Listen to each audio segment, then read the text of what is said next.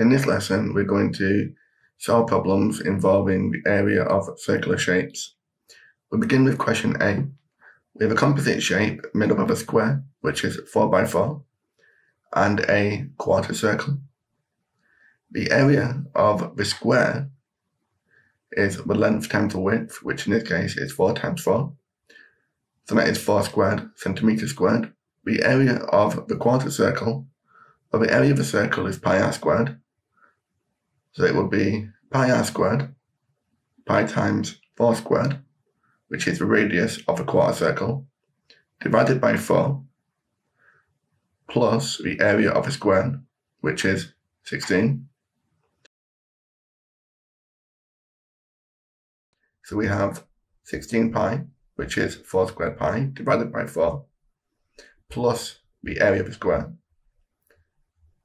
and we can simplify 16 pi over 4 to make 4 pi plus the square 16 centimeters squared. So this is the area in terms of pi, or to it as a decimal, it is 28.6 to three significant figures. For question B, in this composite shape, we can consider the semicircle at the bottom to fit perfectly on the other side. So a radius of a circle is going to be 3 centimeters and it is a semicircle. So it is divided by 2. So the area of the composite shape is pi times the radius squared divided by 2, which is 9 pi over 2 centimeters squared in terms of pi. Approximating it as a decimal to three significant figures, that would be 14.1 centimeters squared.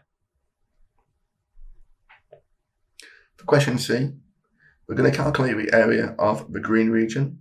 We can calculate this as the difference between the area of the 6 by 6 square and the area of the inscribed circle, which has a diameter of 6 and a radius of 3, because the radius is half the diameter. So the area of the square is 36.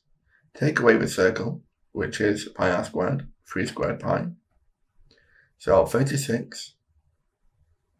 Take away 3 squared, which is 9 pi. Or as a decimal to three significant figures, 7.73 centimeters squared. Thank you for watching. I hope you found that useful and check out mrmathematics.com for a full lesson